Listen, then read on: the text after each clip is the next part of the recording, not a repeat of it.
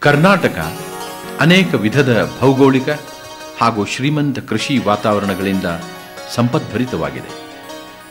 ನಿತ್ಯ ಹರಿದ್ವರ್ಣ ಕಾಡು ಮತ್ತು ಬೆಟ್ಟಗಳಿಂದ ಕೂಡಿದ ಪಶ್ಚಿಮ ಘಟ್ಟಗಳು, ಕರ್ನಾಟಕದ ಪಶ್ಚಿಮ ಕರಾವಳಿ ಉದ್ದಕ್ಕೂ ಹಬ್ಬಿ ಕಣ್ಣುಗಳಿಗೆ ರಮಣೀಯ ಅನುಭವ ನೀಡುವುದಲ್ಲದೆ, ನೀರು, ಶಕ್ತಿ, ವನ್ಯಜೀವಿ, ಮರಮಟ್ಟು ಮತ್ತು ವಿವಿಧ ಖನಿಜಗಳ ಖಜಾನೆಯಾಗಿದೆ. ಇದರಷ್ಟೇ ಪ್ರಮುಖವಾದದ್ದು ಉತ್ತರ ಕರ್ನಾಟಕ ಭಾಗದ ಕುರುಚಲು ಕಾಡು ಹುಲ್ಲುಗಾವಲು ಹಾಗೂ ದಖನ್ ಪ್ರಸ್ಥಭೂಮಿಯ ಪರಿಸರ ವ್ಯವಸ್ಥೆ. ಕರ್ನಾಟಕದ ಹಾವೇರಿ ಜಿಲ್ಲೆಯಲ್ಲಿರುವ ರಾಣೆಬೆನ್ನೂರು ಕೃಷ್ಣಮಗ ಅಭಯಾರಣ್ಯವು ಸುಮಾರು ಒನ್ನೂರ ಹತ್ತೊಂಬತ್ತು ಚದರ ಕಿಲೋಮೀಟರ್ ವಿಸ್ತೀರ್ಣವಾಗಿದ್ದು ಕೃಷ್ಣ ಮೃಗ ಮತ್ತು ಗ್ರೇಟ್ ಇಂಡಿಯನ್ ಬಸ್ಟರ್ಡ್, ಅಂದರೆ ಎರಲಡ್ಡು ಪಕ್ಷಿಗಳಿಗೆ ತವರು ಮನೆಯಾಗಿದೆ ಸಾವಿರದ ಒಂಬೈನೂರ ಎಪ್ಪತ್ನಾಲ್ಕರಲ್ಲಿ ಈ ಅಭಯಾರಣ್ಯವನ್ನು ಕೃಷ್ಣಮಗದ ರಕ್ಷಣಾ ಸ್ಥಳವೆಂದು ಕಾನೂನುಬದ್ಧವಾಗಿ ಘೋಷಿಸಲಾಯಿತು. ಕುರುಚಲು ಕಾಡು ಮತ್ತು ಹುಲ್ಲುಗಾವಲಿನಿಂದ ಕೂಡಿದ ಈ ಸಮತಟ್ಟಾದ ಪ್ರದೇಶ ಬೆಟ್ಟ ಗುಡ್ಡಗಳಿಂದ ಸುತ್ತುವರಿಯಲ್ಪಟ್ಟಿದೆ. ಈ ವಿಶಾಲವಾದ ಹುಲ್ಲುಗಾವಲು ಮತ್ತು ಕುರುಚಲು ಕಾಡುಗಳು ಕೃಷ್ಣಮಗ ಎರಲಡ್ಡು, ತೋಳ, ನರಿ, ಬುರ್ಲಿ, ಗೌಜಗ ಮುಂತಾದ ಪ್ರಾಣಿ ಪಕ್ಷಿಗಳಿಗೆ ವಾಸಸ್ಥಾನವಾಗಿವೆ. ಕಳೆದ ಗಣತಿಯ ಪ್ರಕಾರ ಕೃಷ್ಣ ಮಗಗಳ ಸಂಖ್ಯೆ ಸುಮಾರು ಐದು ಸಾವಿರ ಆಗಿತ್ತು.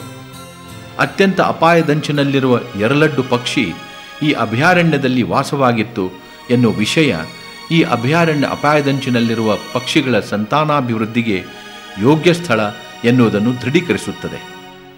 ಆನಂದ್ ಅವರೇ, ಈ ಪಕ್ಷಿ ಬಗ್ಗೆ ನಿಮಗೆ ಎಷ್ಟು ಗೊತ್ತು? ಏನು ಸ್ವಲ್ಪ ಹೇಳ್ತೀರಾ? ನಾವು ಸುಮಾರು ವರ್ಷದಿಂದ ನಾವು ನೋಡ್ತಾ ಇದ್ದೇವೆ ಇದನ್ನು. ಅವಾಗವಾಗ ವರ್ಷಕ್ಕೆ ಒಂದು ಸಲ ಆಗಲಿ ಎರಡು ಸಲ ಆಗಲಿ ಈ ಪ್ರದೇಶದಲ್ಲಿ ನಾನು ಬ ವೆಹಿಕಲ್ನಾಗ ಹೋಗ್ಬೇಕಾದಲ್ಲಿ ಅಕ್ಕಪಕ್ಕ ರೋಡ್ ಸೈಡ್ ಕಾಣ್ತಾ ಇರ್ತದೆ. ಅಲ್ಲಿ ಒಂದೊಂದ್ಸರಿ ಎರಡು ಕಾಣ್ತದೆ ಒಂದು ಕಾಣ್ತದೆ ಒಂದೊಂದ್ಸರಿ ನಾಲ್ಕು ಕಾಣ್ತದೆ. ಇಲ್ಲಿ ಸುಮಾರು ಎಷ್ಟು ಈಗ ಪಕ್ಷಿಗಳಿರ್ಬೋದು? ಇಲ್ಲಿ ಒಂದು ನಾಲ್ಕೈದು ನೋಡಿದ್ದೇನೆ ಇದೇ ಸ್ಪಾಟ್ನಲ್ಲಿ ಆಮೇಲಿಂದ ಇನ್ನು ಬೇರೆ ಗ್ರಾಮಾಂತರ ಪ್ರ ಪ್ರದೇಶದಲ್ಲಿ ಎರಡು ಒಂದು ಈ ಥರ ಬೇರೆ ಬೇರೆ ತಲೆ ನೋಡಿದ್ದೇನೆ.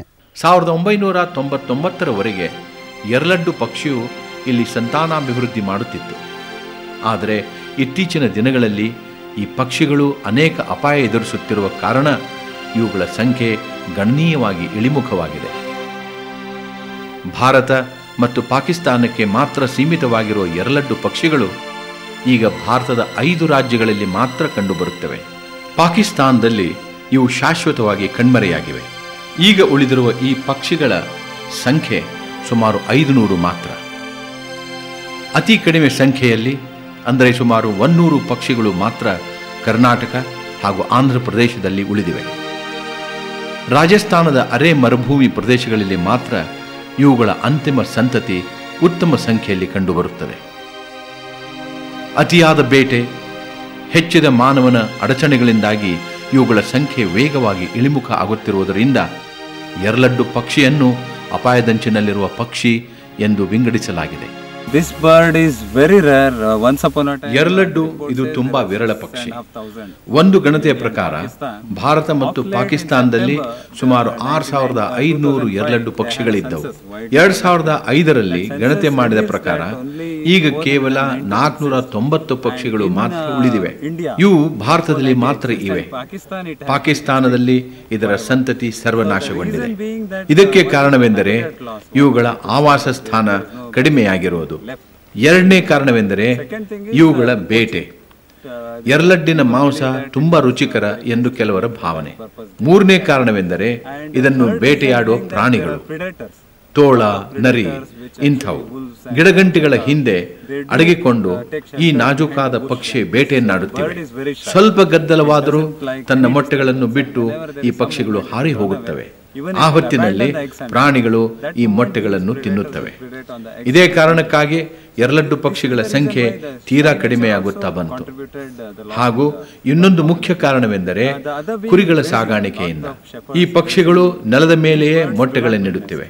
ಕುರಿಗಳು ಮೇಯುವಾಗ ಈ ಮೊಟ್ಟೆಗಳು ನಾಶವಾಗುತ್ತವೆ. ಭಾರತ ಹಾಗೂ ಪಾಕಿಸ್ತಾನದ ಶುಷ್ಕ ಹಾಗೂ ಅರೆ ಶುಷ್ಕ ಹುಲ್ಲುಗಾವಲಲ್ಲಿ ಕಂಡುಬರುವ ಎರಲಡ್ಡು ಪಕ್ಷಿಗಳ ಸಂತತಿಯನ್ನು ರಕ್ಷಿಸಲು ತುರ್ತು ಕ್ರಮ ಕೈಗೊಳ್ಳದಿದ್ದರೆ ಒಂದು ದಶಕದೊಳಗೆ ಇವು ಮರೆಯಾಗಿ ದಂತಕಥೆಯಾಗಲಿವೆ ಎಂದು ಅಂತಾರಾಷ್ಟ್ರೀಯ ಪರಿಸರ ಸಂರಕ್ಷಣಾ ಸಂಘಟನೆಯು ಎಚ್ಚರಿಸಿದೆ.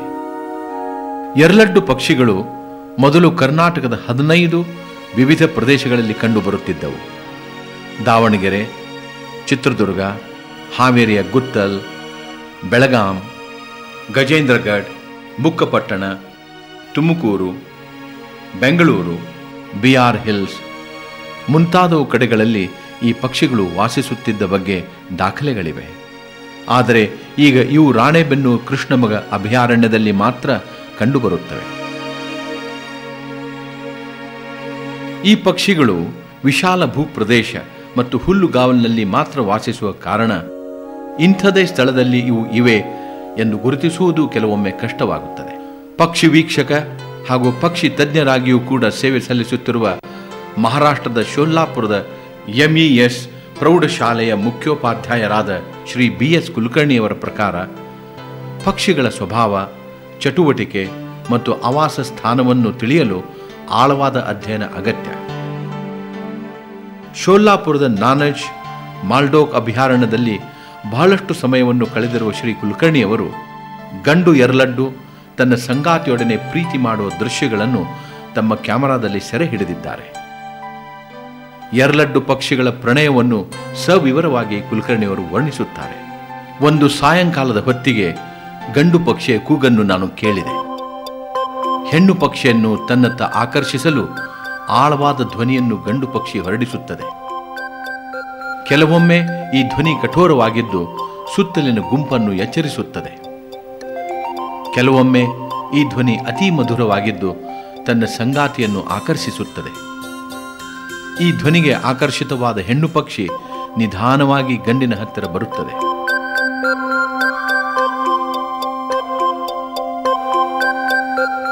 ಎರ್ಲಡ್ಡುಗಳು ತುಂಬಾ ವಿಶೇಷವಾದ ಪಕ್ಷಿಗಳು. ಇವು ಮಿಡತೆ, ಜೀರುಂಡೆ, ಹಲ್ಲಿ ಹಾಗೂ ಇತರ ಕೀಟಗಳನ್ನು ತಿಂದು ಜೀವಿಸುತ್ತವೆ. ಕೆಲವೊಮ್ಮೆ ಧಾನ್ಯದ ಎಳೆ ಚಿಗುರುಗಳನ್ನು, ವಿವಿಧ ಬೆಳೆಗಳ ಎಲೆಗಳನ್ನು, ಮೃದ್ವಿಂಗಿಗಳನ್ನು ತಿನ್ನುತ್ತವೆ. ಸಾಧಾರಣವಾಗಿ ಸಮತಟ್ಟಾದ ಬಯಲು ಪ್ರದೇಶ ಅಥವಾ ಹುಲ್ಲುಗಾವಲುಗಳು ಅವುಗಳಿಗೆ ಉತ್ತಮ ಆವಾಸ. ಆದರೆ ಕೆಲವೊಮ್ಮೆ ಆಹಾರಕ್ಕಾಗಿ ಕೆಳಮಟ್ಟದ ತಳಿ ಬೆಳೆಯುವ ಹೊಲಗಳಿಗೆ ಇವು ಬರುವುದುಂಟು. ಹೊಲಗಳಲ್ಲಿ ಇವು ಹೆಜ್ಜೆ ಇಡುವಾಗ ಕೀಟಗಳು ಬಾಯಿ ಮಟ್ಟದವರೆಗೆ ಮೇಲೆತ್ತು ಹಾರುವುದರಿಂದ ತಮ್ಮ ಕತ್ತಿಗೆ ಆಯಾಸವಾಗದ ರೀತಿಯಲ್ಲಿ ಇವು ಕೀಟಗಳನ್ನು ಭಕ್ಷಿಸುತ್ತವೆ. ಅವುಗಳು ಕತ್ತನ್ನು ಹೊರಳಿಸುವ ವಿಧಾನ ಬಹಳ ಆಕರ್ಷಕ ಹಾಗೂ ಗಾಂಭೀರ್ಯದಿಂದ ಕೂಡಿದೆ. ಇತರ ಪಕ್ಷಿಗಳಂತೆ ಇವು ಒಮ್ಮೆಲೆ ಹಾರುವುದಿಲ್ಲ. ನೆಲದ ಮೇಲೆ ಸ್ವಲ್ಪ ದೂರ ಓಡಿ ನಂತರ ವಿಮಾನದಂತೆ ಮೇಲೆ ನೆಗೆದು ಹಾರುತ್ತವೆ. ಎರ್ಲಡ್ಡು ಬಹಳ ಆಕರ್ಷಕ ಪಕ್ಷಿ. ಅವುಗಳ ರಾಜಗಾಂಭೀರ್ಯ, ನಡಿಗೆ, ಉದ್ದನೆಯ ಕತ್ತು, ತೀಕ್ಷ್ಣ ನೋಟ ಹಾಗೂ ಆಕರ್ಷಕ ಭಂಗಿಗಳು ಬೇಟೆಗಾರರಿಗೆ ಪ್ರಮುಖ ಸೆಳೆತವಾಗಿದೆ.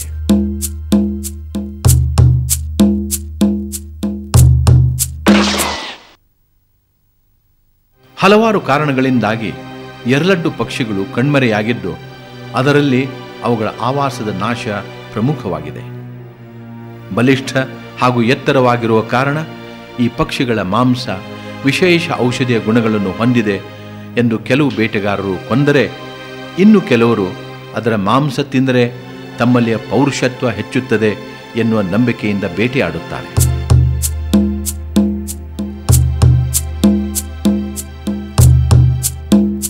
ಗುತ್ತಲ್ದಲ್ಲಿನ ಲಂಬಾಣಿ ತಾಂಡದ ಯುವಕ ಪ್ರಕಾಶ್ ಹೇಳಿದ ಪ್ರಕಾರ, ತಮ್ಮ ಹಳ್ಳಿಯ ಬಳಿಯಲ್ಲಿ ಎರಲಡ್ಡು ಮೊಟ್ಟೆಗಳನ್ನಿಟ್ಟಾಗ ಇವರು ಆ ಮೊಟ್ಟೆಗಳನ್ನು ತಿನ್ನುತ್ತಿದ್ದರು. ಒಮ್ಮೆ ಒಂದು ಎರಲಡ್ಡನ್ನು ಆತ ಕೊಲ್ಲಬೇಕೆಂದು ಪ್ರಯತ್ನಿಸಿದಾಗ ಅದು ಹಾರಿಹೋಯಿತು. ನಾವು ಆ ಕಡೆಯಿಂದ ಕಲ್ಲು ಒಯ್ಯಕ್ಕೆ ಹೋದ್ವಿ ಅದಕ್ಕೆ. ಅಲ್ಲಿ ಹಚ್ಚ ಬೆಳೆದಿತ್ತಲ್ಲ ಅದು ಈ ಚಂದ್ರಶೇಖರ ಗಿಡ ಐತಲ್ಲ ಇದು ಗಿಡ? ಆ ಗಿಡ ಮೇಲೆ ಕಲ್ಲು ಬಿತ್ತು ಅದು ಹಿಂಗೆ ದಾಟ್ಬಿಡ್ತದೆ. ಹಿಂಗೆ ದಾಟಿದ ಮ್ಯಾಗ ಹಿಂಗೆ ಹಿಂಗೆ ಅನ್ಕೊಂತ ಹಿಂಗೆ ಅನ್ಕೊಂತ ಹೋಗಿ ಹಿಂಗೆ ಅನ್ಬಿಡ್ತದೆ. ಅಲ್ಲಿ ಮಟ್ಟ ಹೋಗಿದ್ದು ನಾನು ಅದ್ರ ಕೂಟ ಹುಡ್ಕೊಂತಾನ. ಅದನ್ನ ಹಿಡಿಯಕ್ಕೆ? ಅಂತಾನ. ನಾನು ಇಲ್ಲಿ ಕಸಗಿನ ಈ ಜಾಲಿ ಮುಳ್ಳಲ್ಲ ದಾಟಕ್ಕೆ ಬರಲಿಲ್ಲ. ಹಿಂಗೆ ಹಚ್ಚಿ ಬಂದು ನಾನು. ಹಿಂಗೆ ಹಚ್ಚಿ ಬಂದಾದ್ರೆ ಅದು ಬರೋಬ್ರಿ ಒಂದು ಕಣ್ಣಿಗೆ ಕಾಣ ಮಟ್ಕೊಂಡು ಹೊಂತದು ಅಲ್ಲಿ ಮಟ್ಟ ನಾವು ಓಡಿ ಹೋಗೋದ್ರಾಗ ನಾವು ಹಿಂಗೆ ಅನ್ಕೊಂತ ಹಿಂಗೆ ಅನ್ಕೊಂತ ಹಿಂಗೆ ಅನ್ಕೊಂಡ್ಬಿಡ್ತೀವಿ ಇರ್ಲಿ ಈಗ ಇನ್ನೊಂದ್ ಸರ್ತಿ ಹಕ್ಕಿ ಬಂದ್ರೆ ಏನ್ ಮಾಡ್ತೀವಿ ಯಪ್ಪ ತಿನ್ನಂಗಿಲ್ಲ ಸರ್. ಜರ ತತ್ತಿ ನಾವು ಸಾಕಿದ್ದ ಕರೆಯಾಗಿದ್ರೆ ನಾವು ಹುಟ್ಟಿದಕ್ಕೂ ಒಂದು ಸ್ವಾರ್ಥ ಮಾಡ್ತಿತ್ತು. ಓಕೆ. ಮಂಡಿ ಅರಣ್ಯ ಇಲಾಖೆ ತಿಳಿಸ್ತೀಯಾ? ಆಯ್ತು ಅರಣ್ಯ ಇಲಾಖೆಗೆ ಫೋನ್ ಮಾಡು. ಫೋನ್ ನಂಬರ್ ಎಲ್ಲ ಕೊಡ್ತೇನೆ. ಆಯ್ತು. ಆಯ್ತಾ? ಫೋನ್ ನಂಬರ್ ಇಲ್ಲಿ ಫೋನ್ ಮಾಡಬೇಕು. ಪಕ್ಷಿ ಎಲ್ಲಾರು ಕಂಡ್ರೆ? ಎಲ್ಲಾದ್ರೂ ಕಂಡ್ರೆ. ಎಲ್ಲಾದ್ರೂ ಕಂಡ್ರೆ ನಮಗೆ ಫೋನ್ ಮಾಡಿ. ಆಯ್ತು ಎರ್ಲಡ್ಡು ಸಾಮಾನ್ಯವಾಗಿ ವರ್ಷಕ್ಕೆ ಒಂದೇ ಮೊಟ್ಟೆ ನೀಡುತ್ತದೆ. ಇತ್ತೀಚೆಗೆ ಕರ್ನಾಟಕ ಅರಣ್ಯ ಇಲಾಖೆಯ ವನ್ಯಜೀವಿ ವಿಭಾಗದ ಪ್ರಧಾನ ಅರಣ್ಯ ಸಂರಕ್ಷಣಾಧಿಕಾರಿ ಶ್ರೀ ಎ ಕೆ ವರ್ಮಾರವರು ರಾಣೆಬೆನ್ನೂರಿನ ಕೃಷ್ಣಮಗ ಅಭಯಾರಣ್ಯದಲ್ಲಿನ ಎರ್ಲಡ್ಡಿನ ಸ್ಥಿತಿಗತಿಗಳನ್ನು ಅಧ್ಯಯನ ಮಾಡಲು ಒಂದು ಯೋಜನೆಯನ್ನು ಸೆಂಟರ್ ಫಾರ್ ಇಕೊಲಾಜಿಕಲ್ ಸೈನ್ಸ್ ಸಂಸ್ಥೆಯ ಶ್ರೀ ಹರೀಶ್ ಭಟ್ ಹಾಗೂ Nisarga Institute for Wild Life ಅಕಾಡೆಮಿಗೆ ವಹಿಸಿದ್ದರು. ಈ ತಂಡ ಅಧ್ಯಯನ ಮಾಡಿ ತಯಾರಿಸಿದ ವರದಿಯಲ್ಲಿ ಎರಲಟ್ಟು ಪಕ್ಷಿಗಳ ಉಳಿವಿಗಾಗಿ ಅವುಗಳ ಸಂತಾನೋತ್ಪತ್ತಿಗೆ ಯೋಗ್ಯ ನೆಲೆಯನ್ನು ಕಲ್ಪಿಸಬೇಕೆಂಬ ಸಲಹೆಗಳಿವೆ.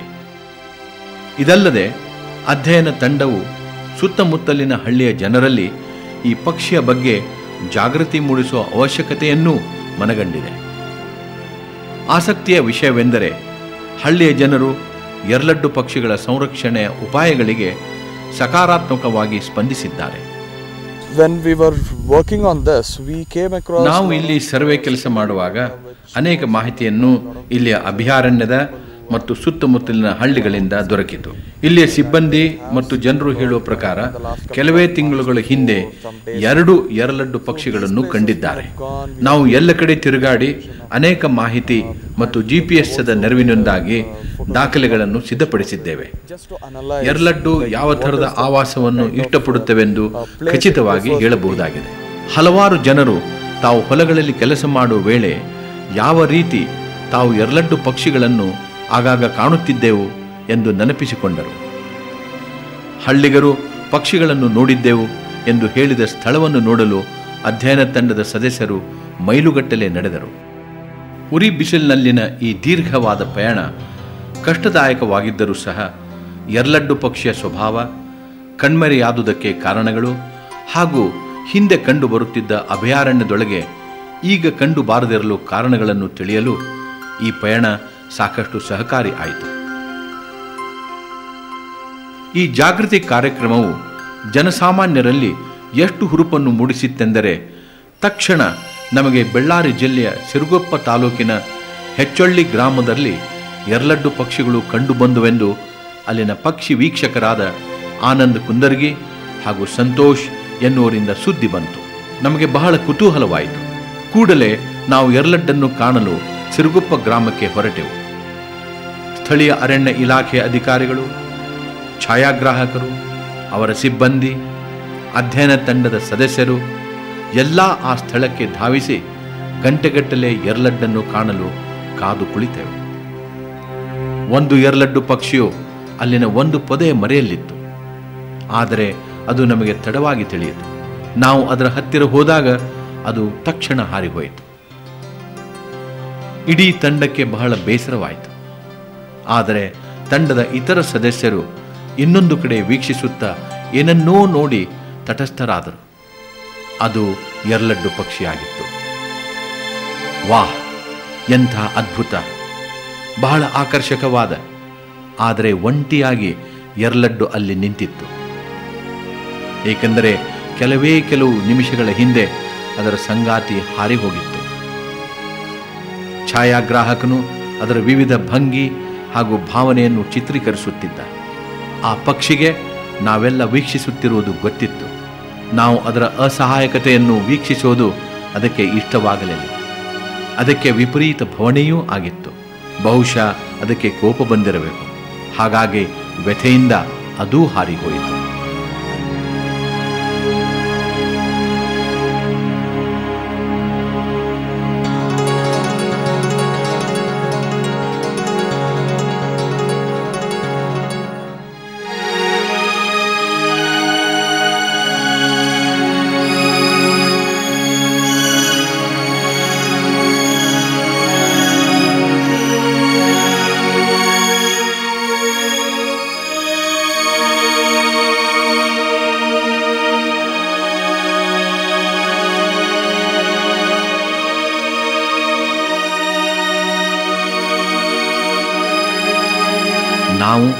ಪಕ್ಷಿಯು ಸ್ವೇಚ್ಛೆಯಿಂದ ಬಹು ದೂರದವರೆಗೆ ಮುಕ್ತವಾಗಿ ಹಾರುತ್ತಾ ಹೋದುದನ್ನು ಸಂತೋಷದಿಂದ ವೀಕ್ಷಿಸಿದೆವು. ನಮಗೆ ಬಹಳ ಸಮಾಧಾನ ತಂದ ವಿಷಯವೆಂದರೆ ಎರಲಡ್ಡು ಪಕ್ಷಿಗಳು ಕರ್ನಾಟಕದಲ್ಲಿ ಇನ್ನೂ ಉಳಿದುಕೊಂಡಿವೆ ಎನ್ನುವುದು. ಈಗ ನಾವು ಅವಶ್ಯವಾಗಿ ಮಾಡಬೇಕಾದ ಕೆಲಸವೆಂದರೆ ಎರಲಡ್ಡು ಪಕ್ಷಿಗಳ ಸಂರಕ್ಷಣೆ. ಅವುಗಳಿಗೆ ಅಪಾಯವಾಗದಂತೆ ಹಾಗೂ ಅವು ಭಯಪಡದಂತೆ ನಾವು ನೋಡಿಕೊಳ್ಳಬೇಕಾಗಿದೆ. ಈ ಪಕ್ಷಿಗಳು ಅಪಾಯದಂಚಿನಲ್ಲಿವೆ ಎನ್ನುವುದನ್ನು ಜನರಿಗೆ ಮನವರಿಕೆ ಮಾಡಿಕೊಡಬೇಕು. ಇವು ಜಗತ್ತಿನ ಬೇರೆಲ್ಲೂ ಇಲ್ಲದೆ ಕೇವಲ ಭಾರತದಲ್ಲಿ ಮಾತ್ರ ಇರುವುದರಿಂದ ಇವನ್ನು ಅತ್ಯಂತ ಕಾಳಜಿಯಿಂದ ರಕ್ಷಿಸಬೇಕಾಗಿದೆ. ರಾಜ್ಯದಲ್ಲಿ ಮತ್ತು ರಾಷ್ಟ್ರದಲ್ಲಿ ಗುರುತಿಸುವಂತಹ ಕೆಲಸ ಆಗ್ತದೆ ಅನ್ನುವಂತಹ ಭಾವನೆ ಕರ್ನಾಟಕದಲ್ಲಂತೂ ಈ ಊರಿಗೆ ಮಾತ್ರ ಸೀಮಿತವಾಗಿ ಇರಬೇಕಾದಂತಹ ವಿಚಾರದಲ್ಲಿ ಗ್ರೇಟ್ ಇಂಡಿಯನ್ ಬಸ್ಟರ್ಡ್ ಪಕ್ಷಿಯು ಹತ್ತು ಹದಿನೈದು ವರ್ಷಗಳ ಹಿಂದೆ ಹತ್ತು ಪಕ್ಷಿಗಳನ್ನು ನೋಡಿದವರು ಒಂದೆರಡು ಪ್ರಾಣಿ ಒಂದೊಂದು ಪಕ್ಷಿಗಳನ್ನ ಕೆಲವು ವರ್ಷಗಳ ಹಿಂದೆ ನೋಡಿದ್ರು ಅನ್ನೋಂಥ ಮಾತುಗಳನ್ನ ಉಪನ್ಯಾಸಕರು ಮತ್ತು ಇಲಾಖಾ ಅಧಿಕಾರಿಗಳು ಮಾತನಾಡಬೇಕಾದಾಗ ಹೇಳಿದ್ದಾರೆ.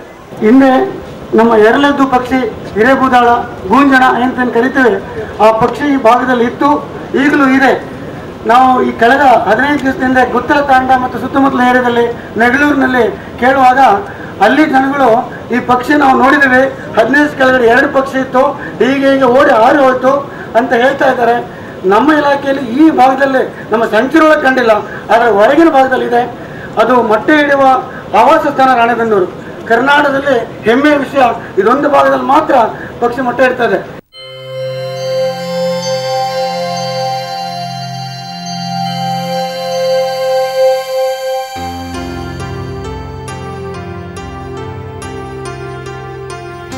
ರಾಣೆಬೆನ್ನೂರು ಕೃಷ್ಣಮಗ ಅಭಯಾರಣ್ಯವು ಅದ್ಭುತವಾದ ಪ್ರದೇಶ.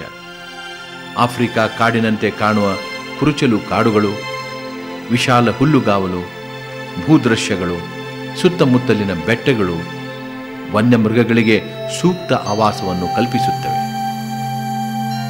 ಇಲ್ಲಿ ಕೃಷ್ಣ ಮೃಗಗಳು ದೊಡ್ಡ ಸಂಖ್ಯೆಯಲ್ಲಿವೆ. ತಮ್ಮದೇ ಆದ ಲೋಕದಲ್ಲಿ ತೊಂದರೆಯಿಲ್ಲದೆ ವಿಹರಿಸುತ್ತವೆ.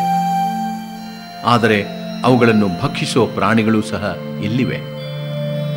ಒಂದು ಜೀವವು ಇನ್ನೊಂದು ಜೀವದ ಮೇಲೆ ಅವಲಂಬಿಸಿದೆ ಎನ್ನುವ ಸತ್ಯಾಂಶವನ್ನು ಅಲ್ಲಗಳೆಯುವಂತಿಲ್ಲ. ಇತ್ತೀಚಿನ ದಿನಗಳಲ್ಲಿ ಕೃಷ್ಣ ಮೃಗಗಳಿಗೂ ಕೂಡ ಅಪಾಯ ಕಾಡುತ್ತಿದೆ. ಆಗಾಗ ಇವು ಆಹಾರಕ್ಕಾಗಿ ಸುತ್ತಮುತ್ತಲಿನ ಹಳ್ಳಿಗಳ ಫಲಗಳಿಗೆ ನುಗ್ಗುತ್ತವೆ. ಕೆಲವು ರೈತರ ಪ್ರಕಾರ ಹಲವಾರು ಬಾರಿ ಕೃಷ್ಣ ಮೃಗಗಳು ಬೆಳೆಯನ್ನು ನಾಶ ಮಾಡಿವೆ ಕೃಷ್ಣ ಮೃಗಗಳಿಂದ ಹಾವಳಿಗೊಳಗಾದ ರೈತರಿಗೆ ಅರಣ್ಯ ಇಲಾಖೆ ಸೂಕ್ತ ಪರಿಹಾರವನ್ನು ನೀಡಬೇಕಾಗುತ್ತದೆ. ಈ ಪರಿಹಾರ ನೀಡುವ ಕಾರ್ಯದಲ್ಲಿ ವಿಳಂಬವಾದಾಗ ರೈತರು ಆ ಮುಗ್ಧ ಪ್ರಾಣಿಗಳ ಮೇಲೆ ದ್ವೇಷವನ್ನು ತೀರಿಸಿಕೊಳ್ಳುತ್ತಾರೆ. ಆದರೆ ಕೆಲವು ವರದಿಗಳ ಪ್ರಕಾರ ಕೃಷ್ಣ ಮೃಗಗಳನ್ನು ಮಾಂಸ ಹಾಗೂ ಚರ್ಮಕ್ಕಾಗಿ ಸಹ ಬೇಟೆಯಾಡಲಾಗುತ್ತದೆ. ಏನ್ ಬರ್ತಾರೆ ಹೇಳ್ರಿ ಬಂದ್ರೆ ನಮ್ಮಂತಾರ ಭೇಟಿ ಕೊಡ್ತಾರ ಅವ್ರು ನಮಗೆ. ಹಿಂಗ್ರಿ ಮತ್ತು ನಾವು ಚಿಗಿರಿ ಹೊಡಿಬೇಕು ಅದನ್ನ ಹೊಡಿಬೇಕು ಅಂದ್ರೆ ನಮ್ಮಂತಾರ ಕಟ್ಕೊಂತಾರ ಅವರು. ಕಟ್ಕೊಂಡು ನಿಮ್ಗೂ ಒಟ್ಟು ಮಟಾಣ ಕೊಡ್ತೀವನ್ನ ಆ ಶಿಕ್ ನಾವು ಹೋಗ್ತಿರ್ತೇವಿ. ಬಡ ಬಡ ಗಾಡಿ ತೊಗೊಂಬರ್ತಾರ. ತಲೆ ಮೇಲೆ ಲೈಟ್ ಕಟ್ಟಿರ್ತಾರ. ಹೆಡ್ ಲೈಟ್ ಹಿಂಗ್ ಕಟ್ಕೊಂಡೋಗಿ ಪ್ರಾಣಿದೆ ಇಂತಲ್ಲಿ ಅದನ್ನ ನೋಡಿದ್ರೆ ಸಾಕು ಅವರು. ಇಲ್ಲಿ ಮಟ್ಟ ಬೂಟ್ ಹಾಕಿರ್ತಾರ. ಹಂಗ ಹಂಗ ಹೋಗಿ ಹಂಗ ನೋಡಿ ಹಿಂಗ್ ವಾರಿಗೂ ನೋಡಿ ಟಕ್ಕನ ಹೊಡಿತಾರ. ಟಕ್ ನೋಡಿದ್ರೆ ಬಿದ್ದುಗಳು ಏನ್ ಮಾಡ್ತಾರೆ? ಅಲ್ಲೇ ಪ್ಯಾಕಿಂಗ್ ಮಾಡಿದ್ದು ಆಗ ಇದಕ್ಕೆ ಹಾಕ್ತಾರ ಅವ್ರು. ಗಾಡಿ ಜಿಪ್ನ ಹಾಕಿ ನಮಗೋಸ್ಕರ ಕಡ್ದು ಕೊಟ್ಕೊಟ್ಟು ಅನೇಕ ಜನಗಳನ್ನು ಹೋಗಿದ್ದಾರೆ. ಇಲ್ಲಿ ಬರಾಕ ನಮ್ಮಂತ ಲೀಡರ್ನ ಒಬ್ಬನು ಗುರ್ತು ಮಾಡ್ಕೊಂತಾರ ಅವರು. ಇದನ್ನು ಕೂಡಲೇ ನಿಲ್ಲಿಸಬೇಕಾಗಿದೆ. ಕಟ್ಟುನಿಟ್ಟಾದ ಕಾವಲು ಹಾಗೂ ಸಂಶಯಾಸ್ಪದವಾದ ಚರ್ಮವರ್ತಕ ವ್ಯಕ್ತಿಗಳ ಮೇಲೆ ತೀವ್ರ ನಿಗಾ ಇಡುವುದು ಅತ್ಯಗತ್ಯ. ಅಧ್ಯಯನ ತಂಡ ನೀಡಿದ ಇನ್ನೊಂದು ಪ್ರಮುಖ ಸಲಹೆ ಎಂದರೆ ಅಭಯಾರಣ್ಯದಲ್ಲಿ ವಿಶಾಲವಾಗಿ ಬೆಳೆದು ನಿಂತ ನೀಲಗಿರಿ ಮರಗಳ ಕಟಾವು ಮಾಡುವುದು. ಸಾವಿರದ ಒಂಬೈನೂರ ಐವತ್ತಾರರಲ್ಲಿ ಕೃಷ್ಣ ಮೃಗ ಹಾಗೂ ಎರಲಟ್ಟಿಗೆ ನೆರಳು ನೀಡಲು ಆರಂಭಿಸಿದ ನೀಲಗಿರಿ ನಡುತೋಪುಗಳು ಇದೀಗ ಆ ಉದ್ದೇಶವನ್ನು ವಿಫಲವಾಗಿಸಿವೆ. ಈ ತೋಪುಗಳು ಕೃಷ್ಣ ಮೃಗ ಹಾಗೂ ಎರಲಡ್ಡು ಎರಡಕ್ಕೂ ಮಾರಕ. ಇವೆರಡಕ್ಕೂ ವಿಶಾಲವಾದ ಸ್ಥಳಗಳ ಅಗತ್ಯವಿದೆ. ಅದರಲ್ಲೂ ಹುಲ್ಲುಗಾವಲು ತುಂಬ ಅಗತ್ಯ. ಎರ್ಲಡ್ಡು ಬಹಳ ವೇಗವಾಗಿ ನೆಲದ ಮೇಲೆ ಓಡಿ, ಆನಂತರ ಆಗಸಕ್ಕೆ ಚಿಮ್ಮಿ, ಹಾರಿ, ವೈರಿಗಳಿಂದ ತಪ್ಪಿಸಿಕೊಳ್ಳುತ್ತದೆ. ಅದೇ ರೀತಿ ಕೃಷ್ಣ ಮಗಗಳು ಎತ್ತರಕ್ಕೆ ನೆಗೆದು ವೇಗವಾಗಿ ಓಡಿ ವೈರಿಯಿಂದ ತಪ್ಪಿಸಿಕೊಳ್ಳುತ್ತವೆ. ಆದರೆ ನೀಲಗಿರಿ ಮರಗಳು ಅವುಗಳ ವೇಗವನ್ನು ಕುಂಠಿಸಿ ವೈರಿಗಳಿಗೆ ಸುಲಭವಾಗಿ ಆಹಾರವಾಗುವಂತೆ ಮಾಡಿವೆ.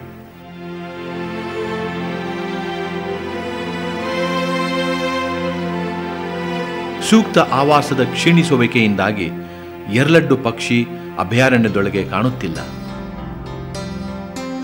ನಾವು great Indian bustard they must have open space to run and then take off like aircraft they are very heavy they are quite ಎರಲಡ್ಡು ಪಕ್ಷಿಗಳಿಗೆ ಸಾಕಷ್ಟು ಸಮತಟ್ಟಾದ ಹುಲ್ಲುಗಾವಲು ಪ್ರದೇಶವಿರಬೇಕು.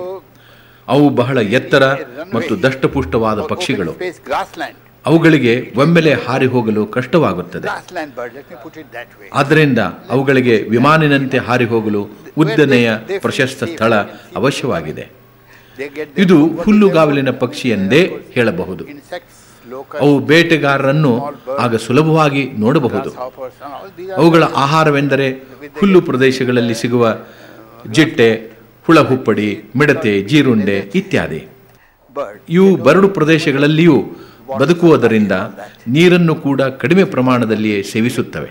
Some intense some heat just once a day once a day is and in winter I mean once they will drink in two days so that is like So desert animal.